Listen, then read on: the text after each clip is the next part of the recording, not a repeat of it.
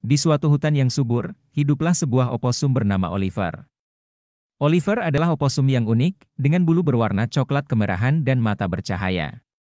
Meskipun saudara-saudaranya senang bersembunyi di sarang mereka, Oliver selalu memiliki hasrat untuk menjelajahi dunia di sekitarnya.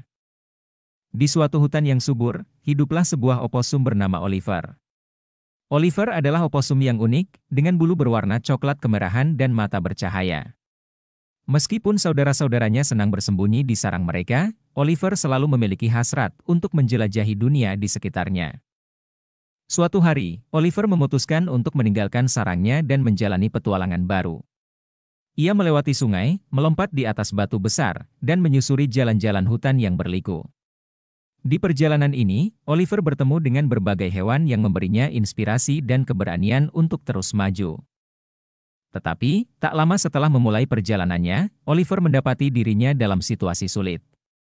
Ia tersesat di dalam gua yang gelap dan menakutkan. Meskipun ketakutan, Oliver mengumpulkan keberaniannya untuk keluar dari gua tersebut. Selama perjalanannya keluar, ia bertemu dengan seekor burung hantu tua yang bijaksana. Burung hantu itu membagikan cerita hidupnya dan memberikan Oliver pelajaran berharga tentang keberanian, kecerdasan, dan ketekunan. Dengan semangat baru, Oliver melanjutkan perjalanannya dengan penuh keyakinan.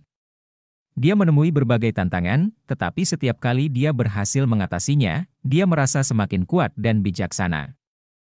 Cerita ini menciptakan kisah tentang eksplorasi diri, pertumbuhan pribadi, dan menemukan keberanian di dalam diri sendiri. Dan begitulah kisah petualangan si kecil Oliver yang penuh inspirasi. Melalui perjalanan ini, kita belajar bahwa terkadang, keberanian sejati ditemukan ketika kita berani keluar dari zona nyaman kita. Terima kasih telah menyaksikan pengembaraan si kecil, si oposum pemberani. Semoga kisah Oliver dapat menginspirasi kita semua untuk tetap berani, terus tumbuh, dan selalu mencari keindahan di setiap perjalanan hidup kita.